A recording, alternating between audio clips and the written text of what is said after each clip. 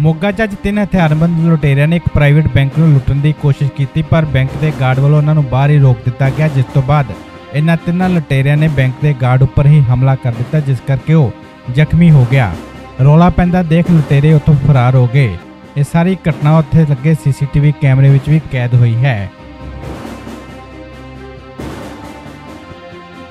ਘਟਨਾ ਮੋਗਾ ਦੇ ਪਿੰਡ ਦਾਰਾਪੁਰ ਦੀ ਹੈ, ਜਿੱਥੋਂ ਦੇ ਇੰਡੋਸਿੰਡ ਬੈਂਕ ਦੇ ਵਿੱਚ ਤਿੰਨ ਬਦਮਾਸ਼ ਲੁੱਟ ਦੀ ਵਾਰਦਾਤ ਨੂੰ ਅੰਜਾਮ ਦੇਣ ਲਈ ਪਹੁੰਚੇ ਸਨ।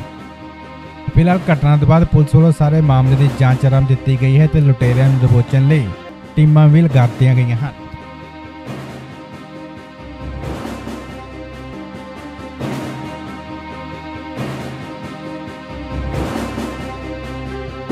ਮੋਗਾ ਤੋਂ ਬਿੱਟੂ ਪੂਰਬਾ ਦੀ ਰਿਪੋਰਟ ਪੰਜਾਬ ਟੁਡੇ